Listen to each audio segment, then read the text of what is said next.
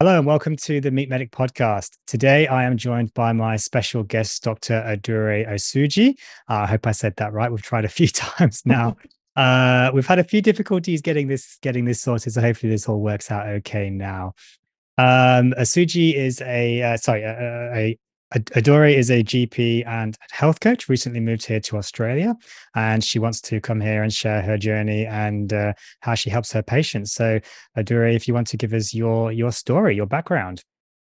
Okay, so hi, Suresh. Thank you for having me on here. Welcome. So, um, I am a GP. I was trained in the UK.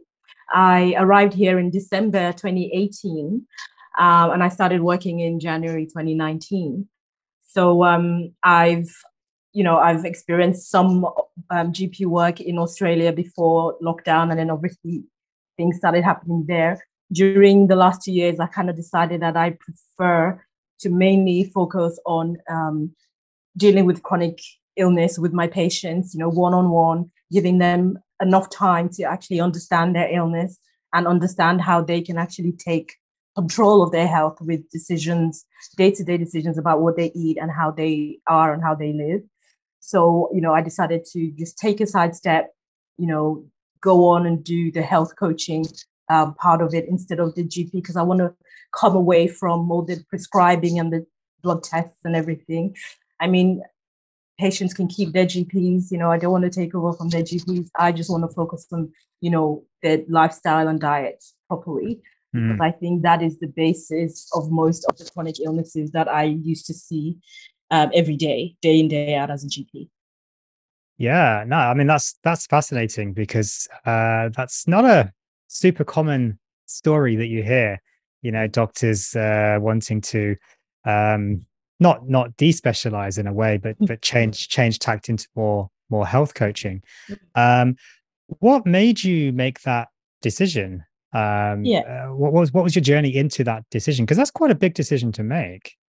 Yes um as a foreign trained gp um, when you come to australia there is this thing called the moratorium where for the first 10 years after you move here you have a couple of choices. You can either go and work in an area of need you know so that's usually rural areas you know very low population areas like that. And you have to you know you can stay there for as long as you want if you do that. Um, i didn't want to do that. So i wanted to stay somewhere in like a city. But if you stay in a city then there are some restrictions. For example you have to change clinics every six months or you have to agree to teach medical students. And in that way, because you have a contract with the university, whether it's a one year, two year contract, you can stay for as long as that contract lasts.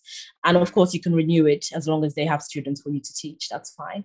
So I did that a bit just before lockdown, but I decided I didn't want to do that either. So um, it was either, you know, go move somewhere else or try to, you know, figure something out. Also, I'd, you know, struggled for a while with my work as a GP because you know having to work as I was because I can't start my own GP practice because of the moratorium because I'll have to move my my business address every six months and things like that. So it's a bit difficult. Yeah. And I always found that for you know where I worked whether it's a bulk billing practice mixed billing practice a lot of the patients are chronic chronically ill patients you know and it almost seems like it doesn't really matter what we're doing. People are coming back with um, blood tests either not getting better or getting worse. And as someone who's always, always been focused on diet for my personal um, health, I could see that there are there's something that we're not really talking about here. Now, I used to talk about it, so you know, I would spend my 10 minutes and go over my 10 minutes trying to explain to them, you know, what you eat does have a very, very big impact on how you feel on a day-to-day basis, things like that. Mm. But again, with the GP construct, people come in and because I'm new, I don't have like my patients for years and years. I have new patients that have just moved in or I have just moved to the practice. So they're all new. They already have their um, established routines with the GP. So they come in and they just want their prescription. And I've never been, you know, easy like that where someone just says to me, I want my prescription and I just sign it. I have to ask a bit more questions about, oh, so why are you on this medication? Like, how long have you been on this medication? And sometimes you can just see the, the there's just a glaze, they just glaze mm-hmm. over. you know, they don't want to answer. They, this is not what they came for. You know, just give me my meds and I'll go. You know, so it became very unsatisfying for me. So I, I thought, you know what? Let me actually try to give this uh, a proper, you know, focus. Mm. And you know, I have, I do have the medical knowledge, but this is what I want to focus on. And I think it is the basis of most of the illnesses that we see, basically our diet. Mm, yeah, no, absolutely. I mean, for my viewers and listeners out there who aren't sure what on earth we're talking about with the moratorium, uh, it's basically it's a when you come to Australia as a foreign trained graduate, uh, like myself, I'm also subject to this moratorium. Mm. Um, I came over 20, uh, 2018, pretty much same time as you. Uh, January January first, we were on the flight over, over New Year's Eve. We had we had champagne on champagne on, on the flight midair um, with our with our you know two two kids, uh, now three kids, um, mm-hmm. and uh, you you can't work in a in you know just wherever you want. You know you've you've mm-hmm. got to work in a workforce shortage area now. Mm-hmm. Here in Australia, there's a big um, you know, split where the population lies, uh, as you of course know, and uh, most of the population is in is in the cities, and there's a lot of competition. You can't just go and work in the city if you're subject to this ten year moratorium, um, and it's for ten years. Now you can move into rural, and you can get some time down on that uh, if you're wanting to. But and the more rural you go, uh, the the uh, the more time you get off that moratorium, potentially fifty percent time off, which is yeah. significant. Yeah. And then you are extremely remote and rural. Uh, now, rural general practice, we can talk a little bit about that and the crisis there actually. Mm-hmm. Um, but what we refer to there, so we can you can have exemptions to this rule, yeah. and that's if you are like a tied to a university, you're teaching students, you know, university students and so forth, uh, or which requires a big commitment. You can't just, yeah, fine, I'll just teach some for a day and then I'm fine. Uh, course, yeah. Uh, or you have to keep changing your own uh, where where you're working, which of course is incredibly disruptive for the doctor, for the patients. Mm-hmm. You clearly can't start your own clinic and keep moving mm-hmm. every six months and so on. Yep. Um, that also doesn't really work either. Um, so I guess you you were subject to this moratorium and you decided yeah. that I guess well I don't want to be anymore mm-hmm. and I'm tired of working in this way. Um, you know, seeing patients for for 10 minutes. Uh, I mean, very similar story to mine. I, I you know, most doctors don't want to work like this. Mm-hmm. That is true.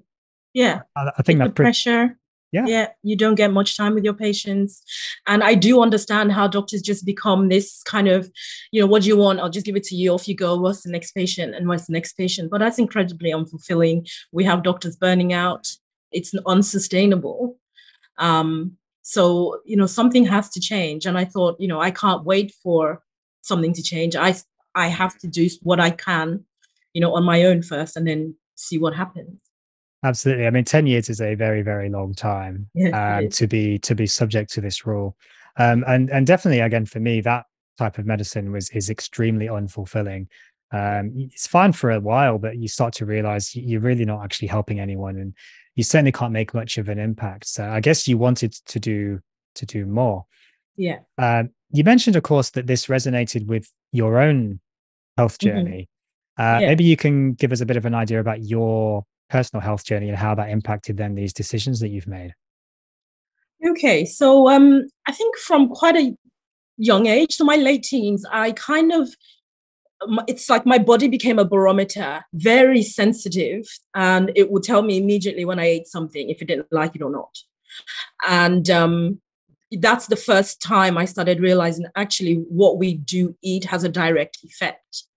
And I, I kind of, you know, it's frustrating sometimes because like I just don't I just want to eat this I just want to eat that but in a way it means that you know I'm acutely aware of what I'm doing so I, I can stop the hurt I can stop you know causing damage to myself.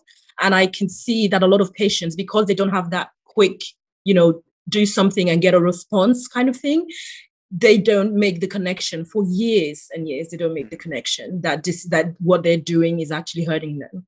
So for me you know it started with you know um, period pains menstrual cramps knowing that if i had something a drink or something with a bit of sugar in it like within 15 20 minutes i'm like you know cramped up with pain okay and i i still remember the first day it happened it was so acute because i was having pain anyway and um I had like ginger tea made for me, and it was just supposed to be ginger tea. So I drank it, and I thought, oh, this is a bit sweet but didn't matter. I drank it anyway because it was nice. And then within 20 minutes, the pain had shot up from like a six to about a nine and a half. I was absolutely wow. And then we were we were like, why? What has happened? So we went and got the packet of the ginger tea, and it basically the first four ingredients were different kinds of sugar. and, and, then ginger was just like a little bit of, the last little bit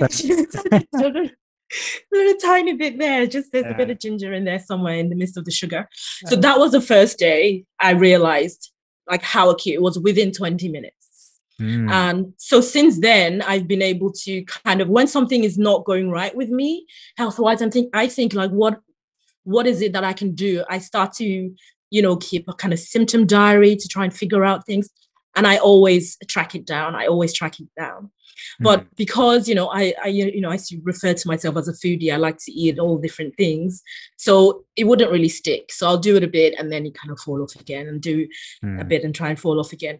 And at the same time, I obviously went to med school, then went um, started GP training, and I would always remember this patient. I think he actually changed the course of my career because it was like my first GP placement. So just one year into GP specialism and he came in for because in the UK we do um you know that when you're 40 years old between 40 and 45 you have to do like a, a test where you check every, all your um, health parameters to see if there's anything we should be keeping an eye on so he came to have his results to discuss his results with me and i was lo- and i looked through and everything was perfect apart from his ldl cholesterol everything was perfect so i just waited for him to I waited for him to come in.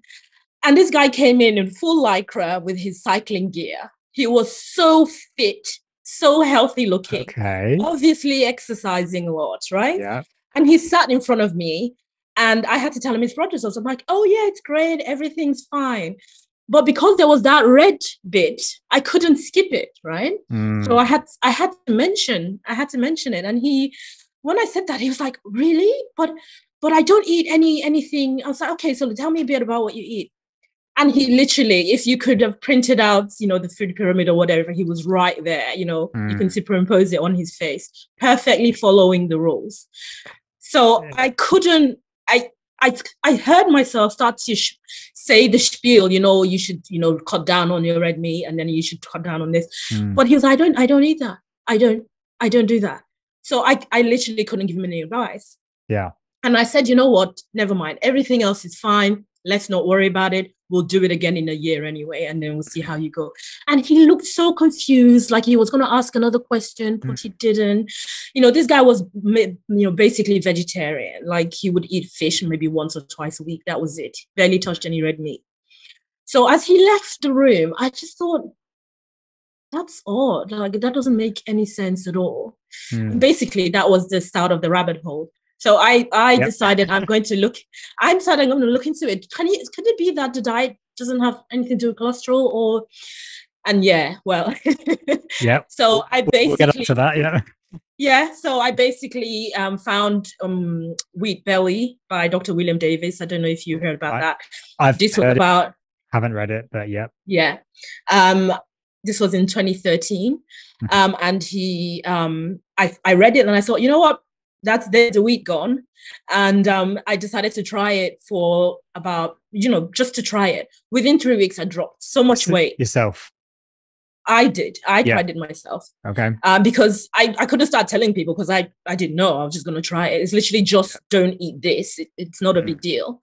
But i dropped so much weight. And mm. you know i wasn't you know very overweight but i was towards the end of the you know my bmi range.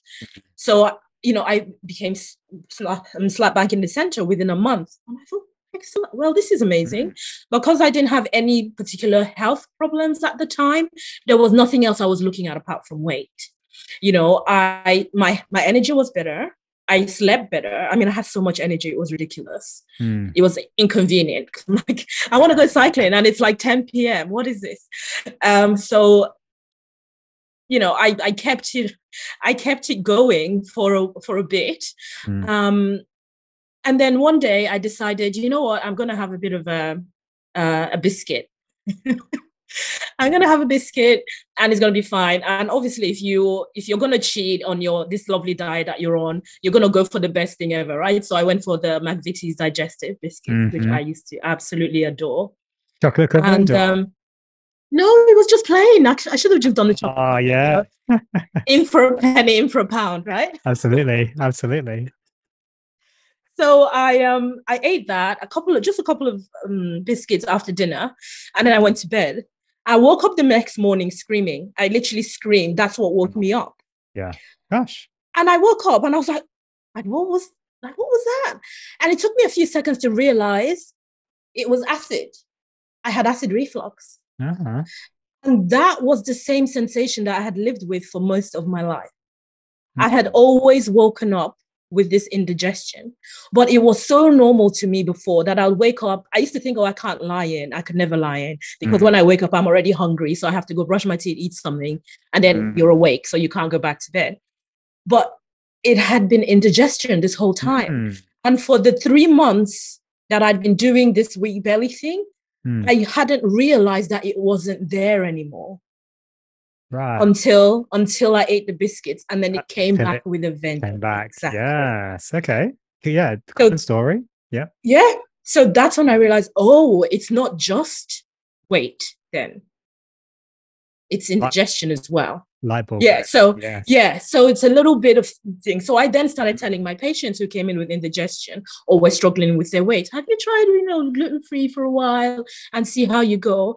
And they'll come, they'll come back. Some of them would say, Oh, I kind of fell off. But you know what though? I remember a lady sa- said to me, Yeah, I kind of fell off that. Well, for the few weeks that I was having it, obviously my son had to be wheat free as well because I was the one doing the cooking. And there was there's been this rash on his, his arm for years mm. that no one knew what it was about. And in the two weeks we weren't eating wheat, it disappeared. Ah, and interesting. There's an like it's just random things that I wasn't expecting yeah. people to say, they mm. started saying. So I started looking more into it, and then I then yeah. decided to adopt the paleo diet. That, that was amazing. It and then it's like just up and down because there was a bit too much cooking and too much salads on the paleo. Mm. So I fell off that wagon. And then for some reason, I kind of came off the whole thing and decided to go back on the balanced diet. Balanced. Um, everything in moderation. Yes, exactly. Um. And then at one point, I even I did the vegan thing. I think I had done vegan before, actually. Okay. Um, one year, I think I was second year out of med school. Mm-hmm. And I just wanted to say, you know, this diet. So if, if you if they keep saying that you just need to keep your red meat to the minimum, that means the the more minimum it is, the better, right? The so less it is. Take, yep. Exactly. Take it out. So why don't you just take it out? Yeah. I took it all out and I did it like horrendous meals because I was just eating my normal stuff but just veganizing them. Oh, okay. and it was just gross. it was just gross. But I I hung on. I hung on, and I think yeah two weeks in, I was in my practice in my room, lunchtime, eating another one of those meals. And suddenly the room just started spinning, mm. spinning. I thought I was literally standing on my head. It was that bad. Oh. I had to leave. Try get. I got to GP practice somehow. Um, got like some Stemetil and some, you know, so anti sickness, and went home. Yeah, yeah. And I was in bed for nine days with the dizziness. Wow. Okay. I had um, I had my next placement was ENT, so it's ear, nose, and throat, and they deal with dizziness. And I told mm. my consultant about it, and he's like, "Get in the MRI machine. Let's see what if there's anything horrendous going on." It was perfectly fine. Mm, okay, well that's good. So so they couldn't explain why I was so dizzy. So once I got better, I thought, well, you know, when I was dizzy, I couldn't cook for myself, and my flatmates couldn't be doing my vegan meals for me. So they just gave me whatever, and I got takeaways, which were non vegan. So I got better. But then when I got better, I thought I need to get back on the vegan diet. Right. Yes. Yes. This time, well, because it couldn't, it couldn't possibly be. It couldn't have been. It couldn't have been. No, it couldn't have been, been that. Okay. Because that is the perfect healthy diet. Of course. So two days later, two days later, I got in my car, drove to work, got out of the car, stood up, and then the world spun again. And I thought, okay. oh, okay, okay, maybe we'll not do this anymore. Yeah. And yeah, I, I think I'm a smart person, but I still tried it a couple of times after. Yeah. Over the the next 10 years. Because I could not. I needed to do the experiment as perfectly as possible Yeah. before I could say it didn't work. So I did Sure, more, yeah. Yeah. So I did more greens, more green Mhm. juices that didn't work. So I did more um cooked foods that didn't work. I did more lentils, more beans that didn't work Mm, you know at one point i even added just eggs every everything else vegan but add eggs Yeah. still that didn't work yeah. because the most important thing was missing Was which was meat. which was basically animal fat Yeah. Meat and fat. Um, Yeah. So so so you've done vegan, you've done Yeah. paleo. Um, Yeah. Where are you at now with your diet then? Because you said you've fallen off a few times, you've done a few different diets and so on. Yeah. Uh, Where where Yeah. are you at now with the diet then? What are you eating at the moment? okay so around um mid last year like my weight had just kept going up and up and the i felt out of control i couldn't i didn't know every time i st- stood on the scale i didn't know what it was going to be doing so i had no control of it and i have a very strong family history of type 2 diabetes and i know the correlation of course Mm, so I needed to get it under control. And I thought to myself, I know the only thing that has worked before. And that was when I was paleo. So very low, basically low carb. It wasn't even very low carb because you could eat tubers and things on paleo. Yeah. Um, so it wasn't extremely low carb, but it had worked like a charm. mm, And I had acknowledged to myself that I was a carb addict. Mm. Okay. You know, I was the kind of person where I couldn't eat one cookie. Mm. So I could stay, I can stay away from I can stay away from the cookies. I don't have to eat them. Yeah. But if I get a pack of cookies, it's it's inhaled. It's Oh, not yes. eaten, Suresh. It's inhaled. oh yeah. And it's gone. Like suddenly, I Yeah, look yeah. at people who take a bite of a cookie and put it Yeah. beside their tea and then continue a conversation. And I'm like, No. oh, yeah. Do you do that? Yeah. So I know that. So I started thinking to myself, maybe I should do some intermittent fasting because that will help before. I've done Okay. intermittent fasting in the past. Yeah. Didn't lose any weight at all. Oh, that's interesting. Yeah. That just didn't really work for you. Nope.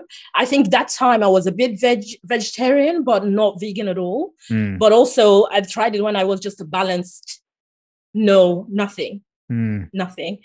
Um, I've also tried 36 hour fast, like on and off, so 36 hours on, 36 hours off for like three weeks or a month, mhm, mhm, zero weight loss. mm. So it's like my body just freaks out every time it doesn't get like proper food, Mhm, really. mhm. and it just holds on. Yeah. So I decided mid last year, you know what? Let's go back on low carb. Let's try. Let's see again. You know, you know what works. So I went back on it, and I decided, you know, I would. I could. I kind of understood what had gone wrong with paleo. There was too much cooking, and I don't like to cook. If I have to keep trying to plan things, I'm gonna fall off the wagon again. So I said, Oh, just focus. Yeah, just Yeah. focus on the just focus on the meat, get full, um, and then see how you go. Mhm. Um, and oh my God, Suresh, within a month, I, lo- I lost like eight kilos. Like just, Wow. Wow. just in a month. Wow. yeah, Crazy. Yeah. it's like a month, a month and a half, but it was just Wow. all the way down. And I just thought, oh, okay. So I knew, I kind of knew that would happen, but I thought it wouldn't because, you know, I'm not in my mid 20s anymore, in my late 20s. So my metabolism and blah, blah, blah. But Mm, it happened again. So I started to think, you know what, I don't want just a big weight loss thing. I want something that's sustainable. So I said to Mhm. myself, if you cut out too many carbs, then you start to miss them and then you put them back in like you did before and then everything gets, you know, undone. So what I started to do was like started experimenting basically with my body. I said, you know what, I'll keep it very low carb during the week and I'll have if I'm thinking about any particular carby meal that I want, I will have one, I'll have it in the weekend mm, just one meal on a Saturday on a Sunday. So just Mhm. get it out of my mind. I'm not gonna, you know, mm, I'm not gonna think too much about it. Um, I thought I would be sad, Mhm. you know, that I couldn't have my cookies and things anymore. yeah. But once I started to feel well, I mean, my energy went back up. My sleep. Sometimes I sleep like a, it's like I'm dead. It's like it's so deep, such deep sleep Mm, and such rejuvenating sleep. When I wake up, it's like I took a pill or something. mm, But the minute I get up, the minute I'm out of bed, my I'm wide awake. wide awake. And so, were you? Were you? Was amazing. This with, was this with low carb or was this keto? This is or? this is so. This was like low carb. Okay. Um, I was having. I tried to get a bit of raw milk. You can't really get that here in Australia, but I found something like that cold Mm. pressed raw milk, which is Yeah. The same, but and then I tried it with goat milk as well. Mm. Um, I was it like made by cow or something? made by cow exactly. I Yeah. think they're the only ones that do it. Yeah, Pretty did much, try- yeah. I Cold, cold press, cold Yeah, press milk. yeah, It's very, very yeah. nice. Bit expensive, but yes, yes, Yes, very nice. yeah. Um, I eventually decided to stop with the the cow's milk. Mhm. Um, the only thing dairy I have now is the full fat Greek yogurt. Hmm. It's perfect. It's nice and fatty and doesn't give me any sort of negative um, effects at all. Okay. So, um, so yeah, for the last six seven months, I've been mostly carnivore. Sometimes I'll have that meal if I wanted a Mm. cheat meal. Um, I always feel satisfied. I always feel energetic. Sometimes it's a bad thing. Like if you're in a boring lecture, you can't even fall asleep because you're so like awake. um, so it's like Yep. I have so much energy. yeah. I literally have no problems with it. And the the what I find with patients is that when you try to tell them about how amazing this is, the only thing they're hearing is that they're currently well, and the only thing that gives them joy is the food that they're eating. Okay. Mm. So when you then try to tell them not to eat those foods or to try and see if there's anything else that they can eat, what they see in their future is still the illness, because that's what is reality for them at the moment Mm. but then now the illness without the nice food to make them feel better. That is a really good point. And to be honest, I'm not sure I've ever even contemplated that actually. And that makes me a bit sad to admit that. Um, that is a that is a really good point.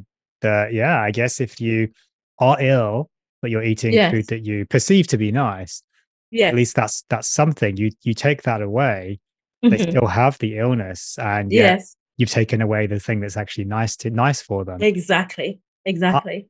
I'd actually never thought of that. That is that is pretty powerful thinking, actually. Yeah. That's where a lot of the resistance comes from because they're like, then what do I have? Mm, that makes So- sense.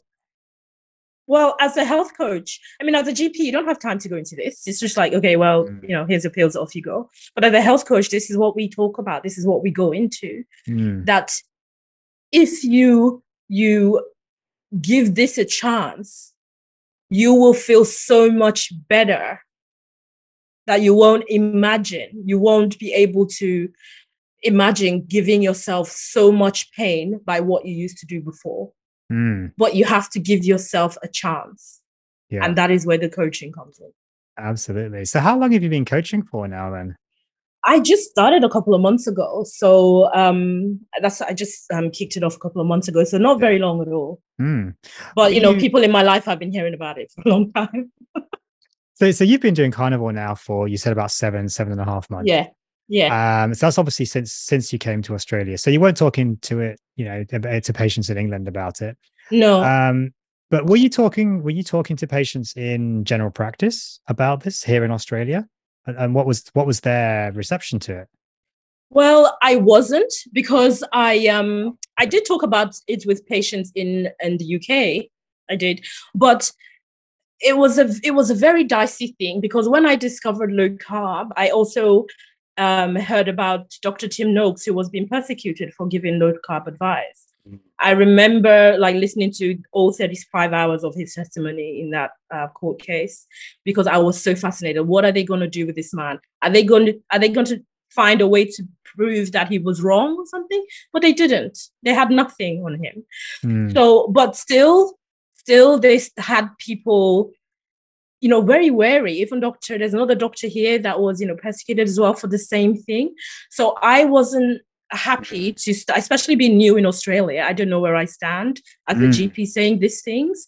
This is another reason why I would like to be a health. I'm, I'm wanting to be a health coach instead. It's a bit more, you know, I have my own. um um basically protocols that I'm, you know, talking to patients about, and there isn't this draconian overseeing. Patients do have the choice whether they want to do it or not. You know, I'm not forcing them, and I always say, you know, I'm not your GP. If you want, you go and talk to your GP, and you want to do what they say, that's perfectly fine. But if you're coming to me, this is what we're going to be talking about. Yeah. No, I mean that's a really, really important. Uh, here the case was uh, Dr. Gary Fettke.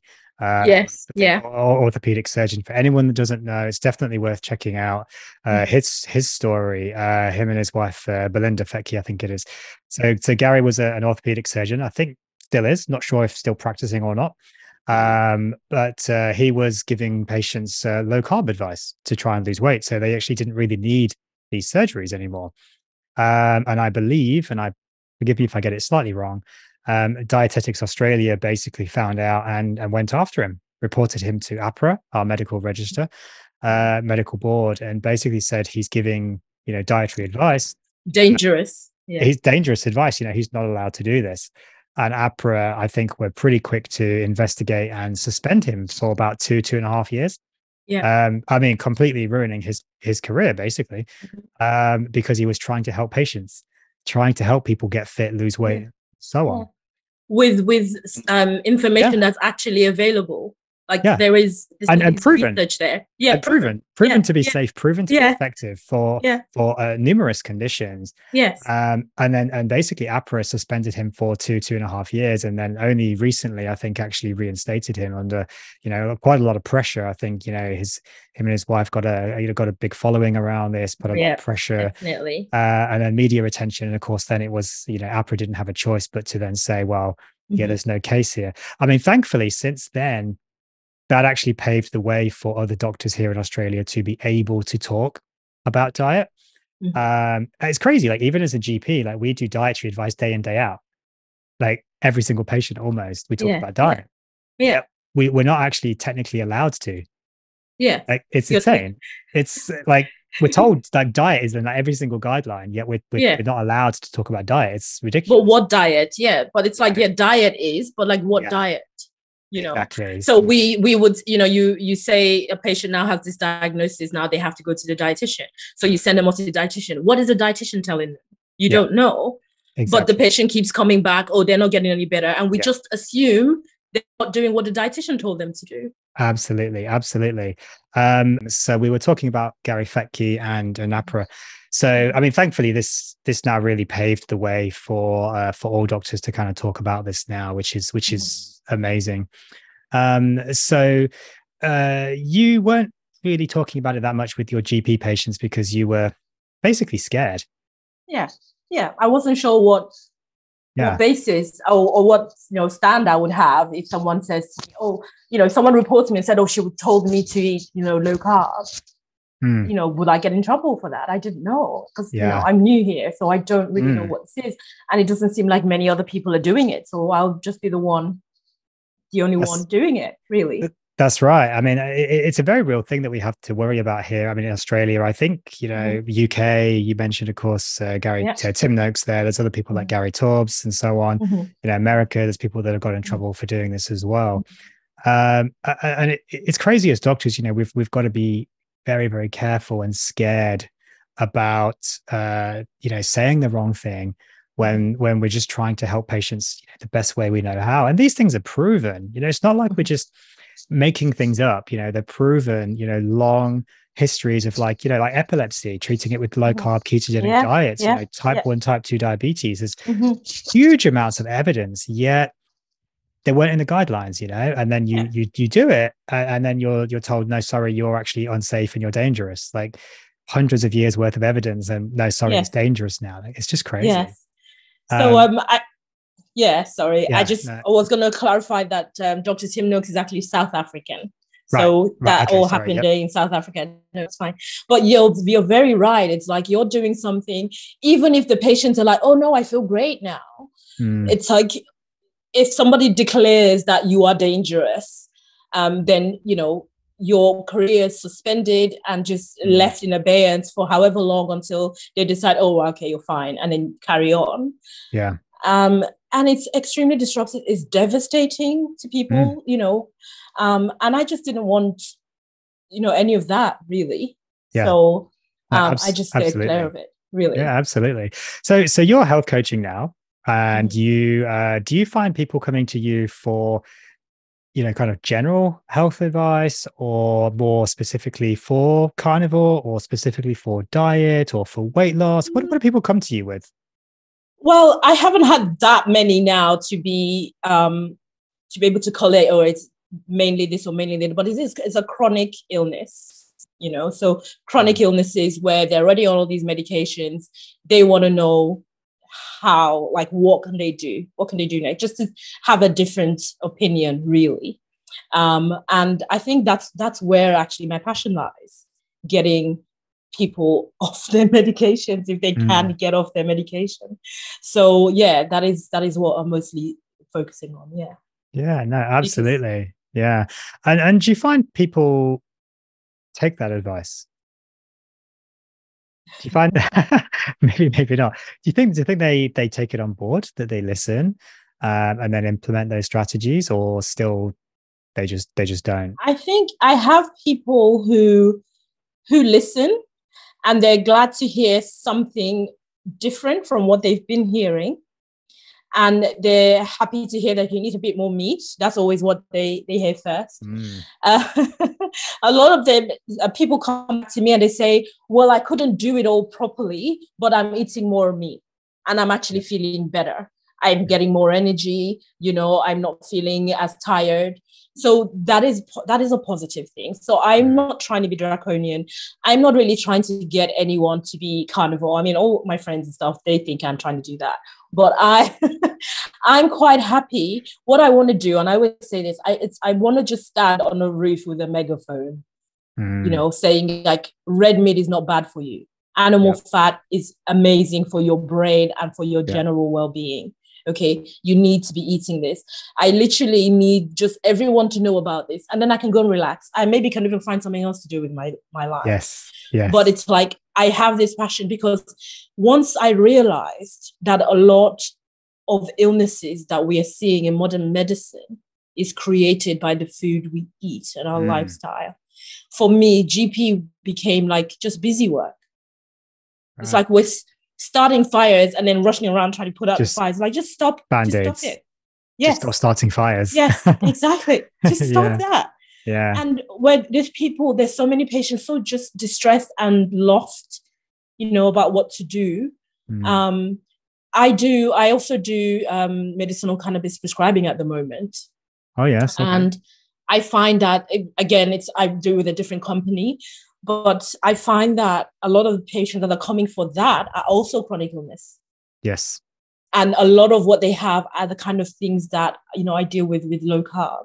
Yeah. But I, I find I can't tell them that because it's not my, I can't be, you know, yeah. advertising my, be in, yes. in another person's company. So it's, again, that's really frustrating to me. So I'm just trying to just focus mm. on the low carb because I need to get people as far as, as, as however I can yeah. on board with this to whatever extent because you know like you know with the low carb thing there's a range you know mm. you start from paleo you go all the way to the lion diet mm. right mm. so you know paleo is um no grains no legumes no dairy okay while the lion diet is beef salt and water right? There's a whole range in between. Correct. People can find where fits them the most. Okay. Mm. And my job is to try and help people figure out where they're going to be sitting there. Yeah. But I think the most important thing is that I need people to know that food is not benign. Mm. You know, um, it's not a neutral thing that you can just put in your mouth and you know, if you close your eyes, then your body doesn't realize you put it in there. Yes. It's always going to realize it and it will react to it. Yes. Whether today or in five years' time, it will show up. Mm. You it can't you can't hide. If you're putting in your mouth, it's gonna show up somehow. Yeah. I'm I actually think some somehow putting weight on is a protective mechanism for some people because if the, you know it's like almost like the fatter they get, the less it's in there doing the you know horrible stuff. But a lot of people who remain slim for longer, maybe, yeah, um, they they tend to eat more of the bad stuff because they think mm. you know I'm slim, so nothing's nothing bad's happening to me.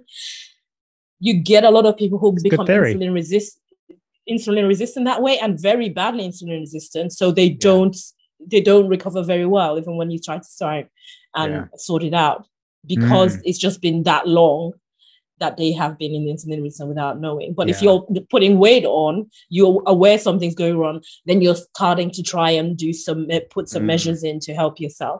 Yeah. That's what that's what I Do, do you find a lot of people are insulin resistant? Um, do, you, do you do blood tests as part of your? no no no your no. so I'm yeah no. So I'm yeah. So I'm a, like a, a health coach. Like a health coach can be someone who was in business before Yeah. and then decided to go and do like a Yeah. coaching course. And then the only Okay. difference is that I am an actual doctor, but Yes. I'm not going to be doing like the GP work. So referrals or Fair blood enough. tests and things like that. Yeah. I'm not doing any of that. So I'm Hmm. working as a health coach. I just have the medical background as well. Yeah. Um. So, um, what was your question? Sorry, do I? I, was asking about insulin resistance, whether you find that a lot of people are resistant. I guess if you're not doing the blood test, maybe you don't. Yeah, and most people, Necessarily most, know I know I wasn't doing, I wasn't doing fasting insulins. Hmm. You, you, it has to be a private test. You don't just add that on with your HbA1c Yeah. and your fasting glucose. It is something extra, and usually the patient has to pay for it. Mm. So most doctors have to have a justification for Yeah. ordering that that blood test. Mm. So a lot of the times we don't actually know if people are insulin Yeah. resistant. We just look at Yeah. the HbA1c, which is a measure of your general blood glucose control over three months Hmm.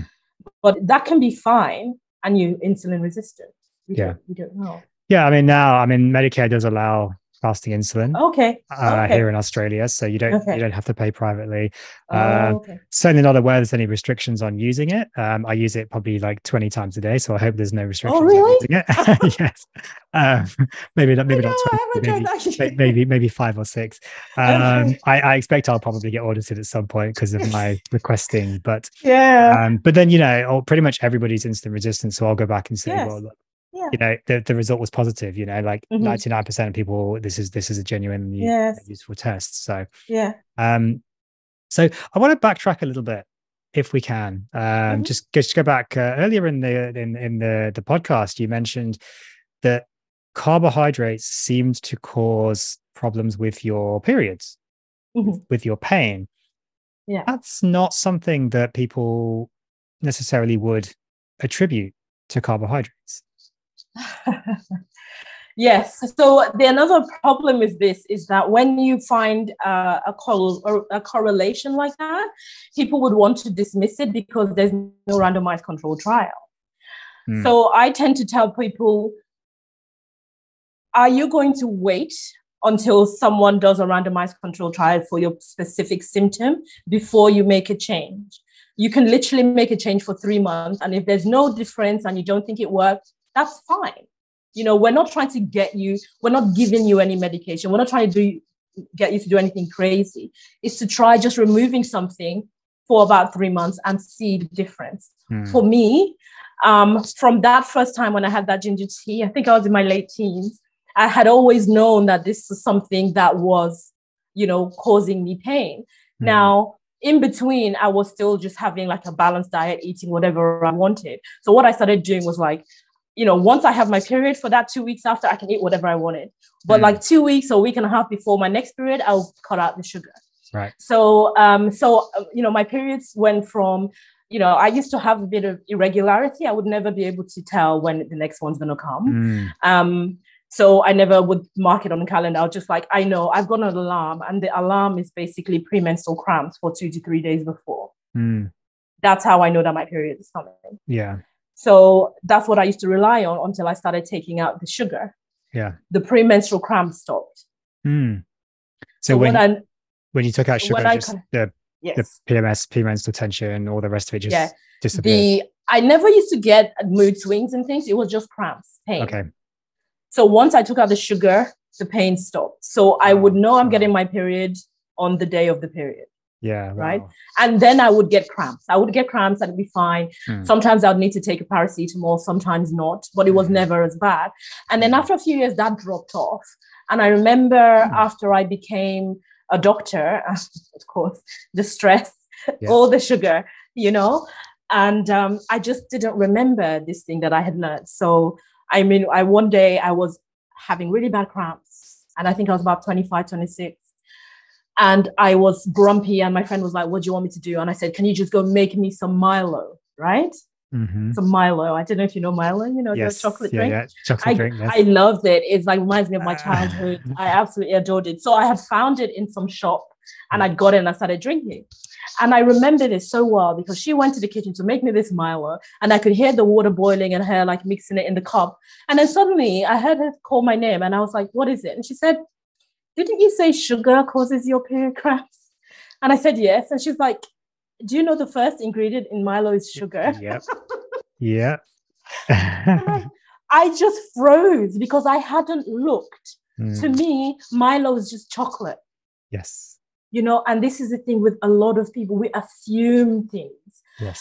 i mean i i a couple of uh, years later i fell in love with these meatballs from ikea and i love them so much and i'll get them all the time until i thought you know what maybe let me see if i can actually make this at home and i turned the back and looked at the ingredient and the first ingredient was sugar in meatballs Yeah, yeah, it's in everything. So it's added to it's everything. in everything Oh, it's shocking. but Yeah. people don't are aren't aware it's like why would they do it people just don't think about it because it's not it's not a reasonable thing to do Mm. to put sugar in stuff and everything Yeah. so people sometimes assume it's just not Yeah. um and you know that's something that we need to you know i need to talk to people about as well you know you Mm. can't just assume if something is in a label there's going to be wheat in it there's going to be sugar in it they just put everything in it so the best thing to do is, you know, make it yourself. Go to the outsides of the the, the supermarket and just get the stuff that aren't in packages.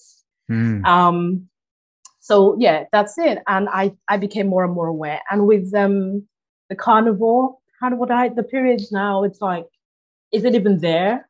It's like on the dot. It's so Right. regular now. There is like no pain. It's it's weird.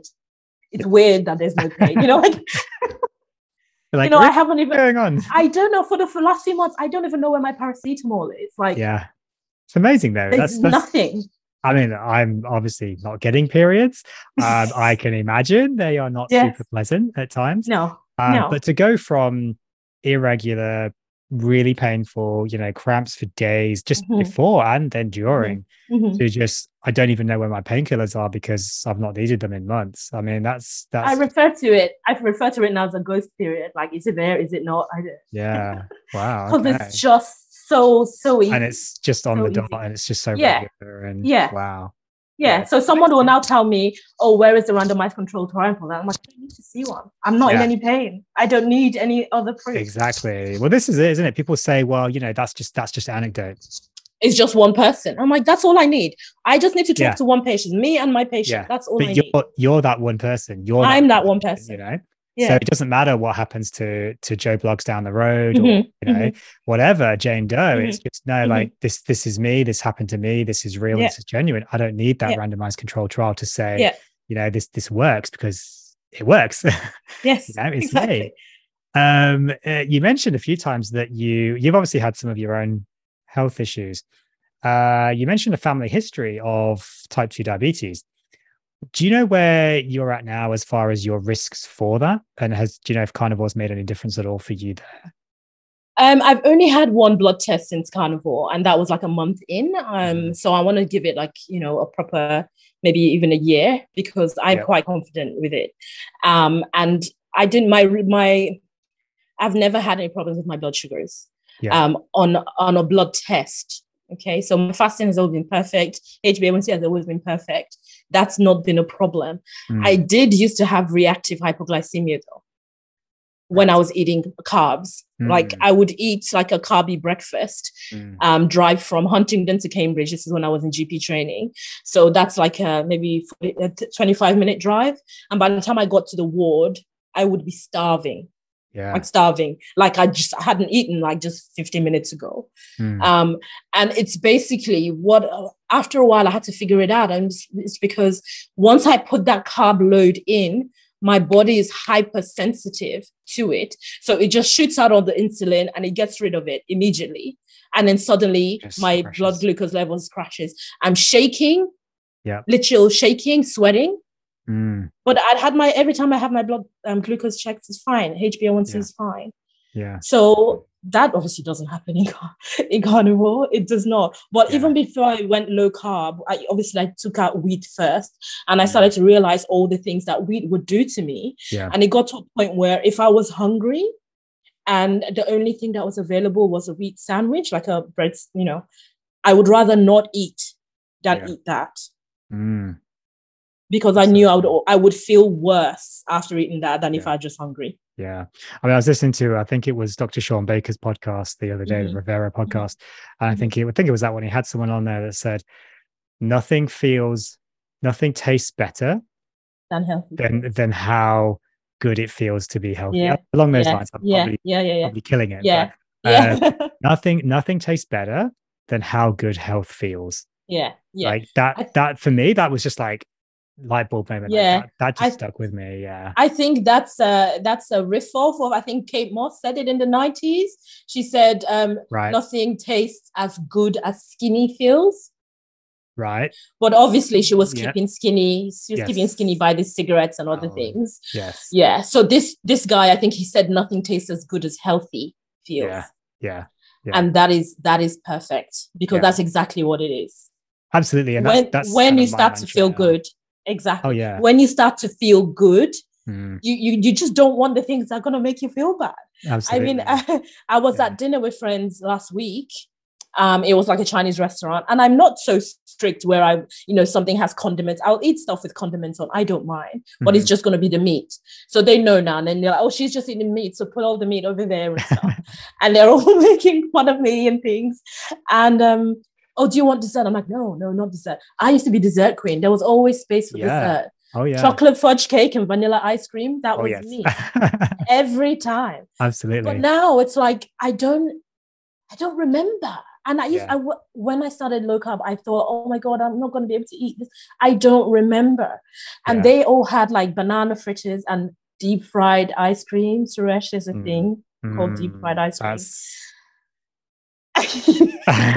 okay. I was looking at them and they were like, oh my God, this is yeah. so nice. And I just thought, is I it? Cannot, is I can really? feel, I yeah. can feel this. I can yeah. feel how horrible this will be in my body. Yeah. No interest in it whatsoever. No, isn't that funny? When you when you go carnivore, you kind of just most people just lose interest in that unhealthy food. You know, I, I I said it. I mean, like I've had a lot of struggles myself. You know, 1st mm-hmm. few episodes on this podcast, I was talking about mm-hmm. my personal journey. You know, mm-hmm. I was very overweight for a long time. I've yo-yo dieted all, all the way, you know, kind of through my life. I was massive sweet tooth at times, even though I always preferred savory. Mm-hmm. Um, I'd always rather pick like say cheese over sugar. When I had that sugar, like you said, the cookie, it wasn't wasn't one bite. It, it was it was it was the whole jar. and then it was like, right, I'm gonna I'm gonna make some more cookies and go yeah, buy some cookies and just, eat, just eat more. That you can't, you, know? you literally no. can't. Oh, that reminded me of something. Yeah. That just literally reminded me of something. Go ahead. I'll, I'll, I'll okay, I'll okay. Um, and uh, and, and now you know, like I'm just like I walk into like the staff room at work, whatever, and there's chocolate there. Like, you know, patients like they just bring you chocolates and stuff. Mm-hmm, and, you know, mm-hmm. and I, we're always grateful. We don't throw them away, whatever. You know, someone someone will eat them. And I just I just walk by them and like, nah.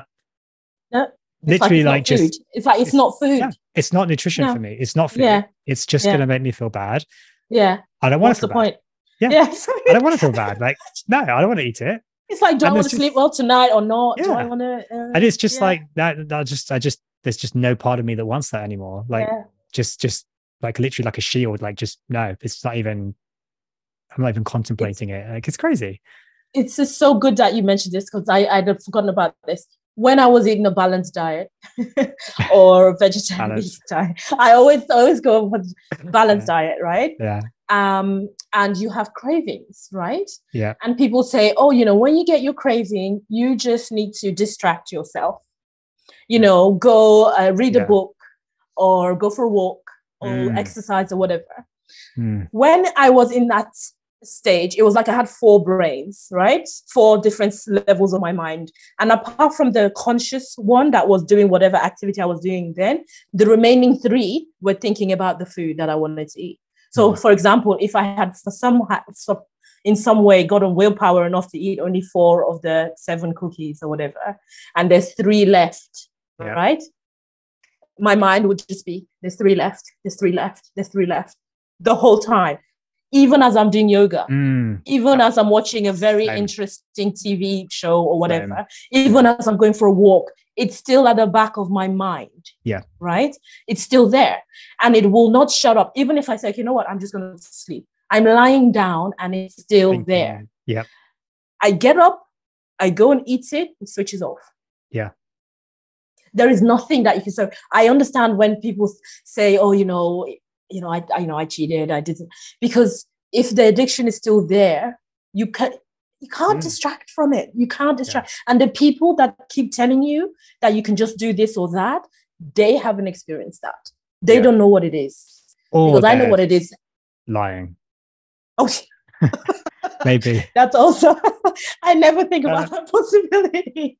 people lie. People lie. I know. I don't know. I maybe. Know, maybe not. Maybe I not. do. I do. But yeah. but you know, I never think of that possibility for some reason. Yeah. But I understand that because the min when I am on carnivore or very low carb, yeah, that doesn't happen. Um, yeah. I went traveling and I bought some biscuits in June, July last year. This was like you know the shortbread, you know, mm. like um, mm. yeah, they're still in my cupboard. Yeah. Yeah. Like I would go open it and take my chili peppers or whatever I want to get from the cupboard. I'm like, oh yeah, these are still here. And I close the cupboard door yeah. and I don't remember Tem. I don't yeah. remember it until I open the cupboard door again to get something yeah. else. No, exactly right. We've we've got some like chocolate Fritos or something yeah. in the in the fridge. And and they're still there. Like they're too high, the kids can't get them. Uh, yeah. and they're still there. Like I would have like four months ago, I would I would have just polished them off like just like immediately. Just, like just immediately. Got, yeah. Like, oh, they're there. I must I must eat them. I must eat them. I can't go to sleep until I eat them yeah like they're just there like you know.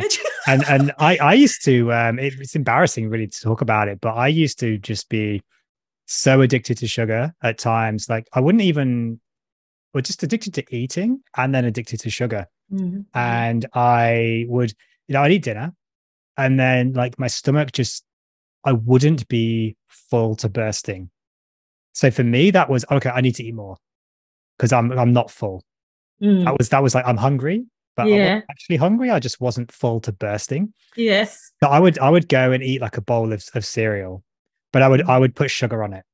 Mm. And it was like sugary cereal, and I'd put sugar mm. on it. And then I'd eat it, yeah. and then I'd feel really full. Yeah. But because it was sugar, I just I wanted more. So I'd get another one. Yeah. Yeah. And it was like I've probably eaten like a thousand calories of just almost yeah. pure sugar. Just snack. Yeah. When I didn't even want it. And you're like, not even hungry. You're not no. hungry. It's, what I wasn't even that? hungry. Is there a yeah. is there a name for that? Because I know that. I know exactly well, I what mean, you're saying. It's, just just food addiction and just well well but there's a psychological there's a psychological and a, a, a physiological you know process i think there like when when your insulin's super high which mine mine was um you know uh, my, my theory anyway this is not necessarily proven but you know it just it, it drives down your sugar levels and then your mm-hmm. your body is and you get this reactive hypoglycemia and then your mm-hmm. body's mm-hmm. your body's low and then so you're searching mm-hmm. for more sugar to to bring it yeah. back up yeah yeah um and then the sugar the sugar gives you the dopamine hit you know it's it's a drug it's a drug yeah. like this is, I, was, I, I, was addicted there's there's yeah. no doubt about it you know i mean that particular thing is one of the side effects that I get from wheat as well mm. appetite stimulation. Mm. Where I eat it. So when I eat wheat, there's like one of five things that happen, yeah. five or six things. It's either tummy pain or severe indigestion, body aches, like you know, like fibromyalgia where you press anywhere and it yeah, hurts. Yeah. I always I refer to it like I've been in a battle with an elephant, like everywhere just hurts. Wow, yeah. Um, it triggers my asthma. Mm. Um, and then it does the appetite stimulation. And I don't know it has until yeah. I'm standing in front of my fridge at 10 p.m., yeah. full to yeah. bursting and still looking for some more food. Absolutely. And that was exactly the same with me. You know, I was my my weakness was always bread. And I would like like we we I it was probably simultaneously the best thing and the worst thing we ever did was was buy a bread maker and oh. it was like it was game changing for us because we we could stop buying bread from the supermarket and it's so mm. nice like i, I do yeah. kind of miss bread if yeah i missed it's probably fresh fresh homemade bread yeah but i would like we would bake a loaf and then like i would just be like cutting slices off like every 10 minutes like and it, it would just mm-hmm. be gone and then my yeah. wife would be like oh let's make some sandwiches for the kids for tomorrow i'm like yeah i'll be in it all like it's just like what what like what the fuck? Like excuse my language. Like what the hell is going on like, i'm like sorry like i just ate it all. It's just like i don't yeah. know what happened. I don't know i don't know. It was, it was a dog like you know we haven't got a dog but you know. Um and it was kind of just like yeah like i was and, and that's what wheat did for me. I just totally i couldn't i couldn't stop, stop, eating it. Yeah yeah. yeah. it made me bloated and it made me yeah. feel unwell yeah i just couldn't stop eating it. But but now like now the smell of fresh bread i like it mm-hmm, mm-hmm. we still we still cook some for the mm-hmm, kids for sandwiches and stuff mm-hmm, mm-hmm. sometimes but I I just like yeah, it's a nice smell. That that's Yeah. it now. I don't. yeah, I don't that's me walking. to eat it. Yeah, walking past the bakery. I'm like, oh, that Yeah. smells really nice. As I'm Yeah. walking past, like I can just I don't have to get anything from there. I can acknowledge it's a good smell. I refer to weed as the devil. It's the devil. It's very Yeah. tantalizing. It tastes very Oh, yeah. nice. I still miss stuff. But Yeah. at this point, it's like, do I want to feel bad? The answer is no. So I'm not eating it. That's it. absolutely exactly right. I mean, nothing nothing tastes as good as healthy. As good as healthy so- feels. Yes. Absolutely. um uh so speaking of kids you've got you've got a child how many how many kids have you got just no, one? no, no. I haven't got any kids. oh i thought i thought I you said your, your son your No, son no. had eczema no oh okay i must have missed that oh, no, no, no, no. My patient's son. It was my patient's oh, son. oh sorry sorry Who had okay. advised, yeah, had Okay. advised, yeah. Um i was going to ask how you deal with kids at home with carnivore, but Mm. obviously we won't talk Ah, about that then no, that's no, fine no, so um how, how do your friends kind of take it because you mentioned a couple of times going out with your friends and they kind of Mhm. be making fun of you a little bit Yeah, yeah, yeah. What's their take on mean- carnivore Ah, I find it very frustrating. I find it very frustrating. And okay because it's like they, you know, they don't think I'm silly or stupid, like I don't know what I'm doing, but they think that the benefits are just for me, you know, and it, it won't do anything for them. Hmm. you know so Okay. even though i don't have like the back pain they have or the or the you know insomnia that they have or the Mm. random headaches that they have i don't have any of that but they just think oh that's just you you just don't have that i just have it Yeah. i'm like you're not just have you're not born with all these things this Yeah. is what i'm saying about yeah trying to get people to understand that what they eat things they eat are not benign Hmm. there are things that you're doing that are causing this yeah um, so I had a friend tell me yesterday, oh, you know, um, don't eat this kind of thing or you'll get ill. I'm like, it's fine. I don't eat that kind of stuff, you know. And all I think she was saying about about me, and I'm like, it's fine. You know, I don't. I'm not going to get ill with that. And she was like, oh no, it's it's because you're strong. And I said, no, it's because I eat meat. yeah That's why I don't get ill. Yeah. You know, that's it. It's they try they try to basically separate the benefits you're getting from meat from actually being Yeah. from meat yeah they just try to say, oh, they're just you're just healthy or you're just strong. It's it's crazy, isn't it? They do. They they try. They kind of say, "Oh well, that's that's just a one off. That's just you. You're you're just different. Like you don't have my issues." And it's kind of like, yeah, trying to get people to think, well, you weren't born with these issues. Like it's it's not normal Exactly. human experience to just have exactly to just be ill or To be all sorts ill. of things. and have Yeah. chronic pain and so on. But they Yeah. they I don't know whether that's society's problem. Like we we do normalize just ill health. We normalize, you know, um, oh, I'm just getting Mhm. older. I'm just getting getting Yes. fatter. Whatever. You have like 35 year olds saying that, oh, I, my energy is just low now, but you know, I'm getting old, and they're like 38 or something. I'm like, Exactly. Yeah. what? We I- don't I'd run- refer to old people, elderly people until you're over 65. Now it's over Yeah. 70. Yeah. So what's a 38 year old person talking about getting old? for? Exactly. I had a 31 year old today in clinic. They came Yeah, in, you yeah. know, oh, I'm feeling fatigued and tired and sore. Oh, I guess I guess I'm just getting old. It's like you're 31. Like, like I really? know. Like, I know. the fact you You even win consider yourself old at yourself 31 old. Because they feel it though. They feel it because their bodies are starting to ache and they, so they feel old. I'm like, that- it's not Yeah. because you're old, it's because your Yeah. body is getting more and more fed up of dealing Absolutely. with the stuff that you're putting in it. Absolutely. It's just it's it's insane to me that people will will just ascribe to just feeling old and so on and they just they can't see that it's it's the it's not even that it's the food that's causing it but that it's just not normal It's not normal. You know Yeah. once once you You accept to that it's it not- out. Yeah. not normal then, you, can start, to, see. look Mhm. absolutely mhm, but they just they can't they can't they just this Yeah. is just so normal for them That's why I need to be on the roof with a megaphone. Yeah. what- like literally, I just want to just I just wanted to get in there, just in a tiny little seed in everyone's mind so that they can start to look. That's all I ask. It's it's crazy, isn't it? Where are you going to go from here then with your diet? Are you going to stay on carnivore? Are you are you you said you occasionally eat other things as well. I mean, Yeah. what's what's your plan moving forwards? So I think it'll be mainly carnivore because it's the simplest, it's the easiest. I feel so good on it. But just for maybe variety, I wa- I'm trying to see what other things I can add in that don't take me away from how well I feel. Mm, So, for example, I make bone broth, which is great. That's part of carnivore as well. But Yeah. I, you know, I said to you, I use condiments. I put my spices and stuff. Mm. Um, and then I'm um, sometimes I'll put some dried herb, um, dried leaves in there because that's the traditional Nigerian thing that I. So I have some with me. So I'll put mm-hmm. it there and actually see over the next few days if anything happens. If nothing happens, you know, I get take that as an okay sign. Mm. Um, you know, I might try some of the stuff like the tubers that I used to have when I was paleo. I was also fine with them at that time. I don't know how things have changed because it's been 10 years. Mm. But yams are traditional Nigerian food as well. So I might try that, but it was literally going to be from time to like a one, maybe once a week, once every couple of weeks or something. Yeah. But the baseline is just basically going to be meat yeah. and eggs and my um, full fat Greek yogurt. Mm. Sometimes I put like a date in the yogurt.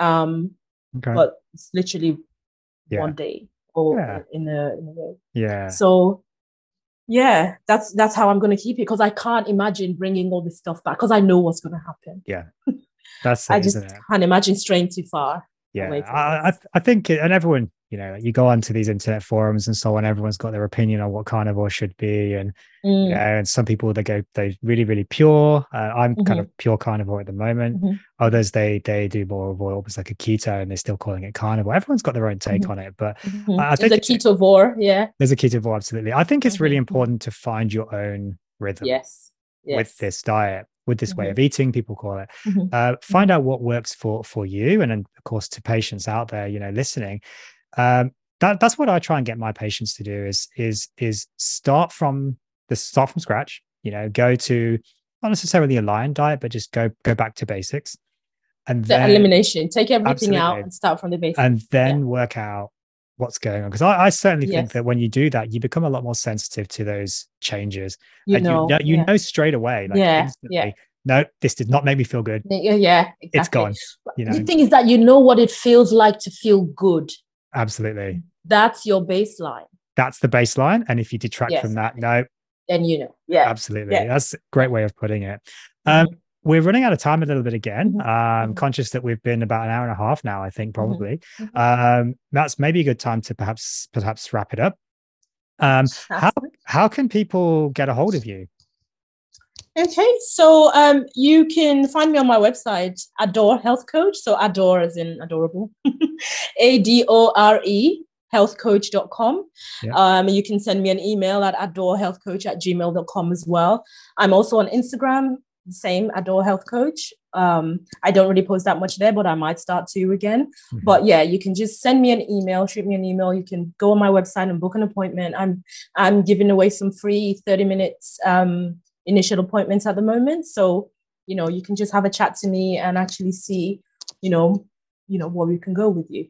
So I can yeah. reach people anywhere. Mm. But yeah, so online is definitely where it is. But I'm based in Abad Turak. Yeah. Yes. Okay. Yeah. So at Adore Health Coach on Instagram, yeah. Uh, yeah. adorehealthcoach.com or is it .com.au? Mm-hmm. Dot .com. Um, mm-hmm. so anyone out there that's interested in, in getting a carnivore health coach, please go and mm-hmm. check out Adaure on mm-hmm. adorehealthcoach.com or at adorehealthcoach on Instagram. Uh, if you've enjoyed this podcast, guys, please make sure you follow myself also on social media at Dr. Suresh Khirwadkar on Instagram, at S Khirwadkar on Twitter and Facebook as well. Um, share the podcast, like, subscribe, etc., etc. if you found it useful. Uh, thank you so much for coming on today, Adaure. Thank it's you, been Suresh. It's absolute been pleasure talking to you and just having this chat. It's been great. We managed to work out all those issues, uh, oh, which we had at the start. So, uh, but no, it's been it's been really good fun talking to you. It's so nice to just talk to like-minded people uh, and just just to just to kind of chat, shoot the breeze, and just kind of get other people's take on it. Uh, all Definitely. the best success with your with your health coaching. It's really thank exciting. you very much. Thank you very much. It goes very well for you. I'm really looking forward to where it's going to go. So thank you for having me on. Yeah, absolutely. Well, I'd love to catch up maybe in a few months' time, see how it's yeah. going, and uh, so definitely keep in touch, and we can we can do some more down the line. Excellent. Well, all you right. take care. and you too. Thanks very much. Have a good evening. Bye. Bye bye. Bye.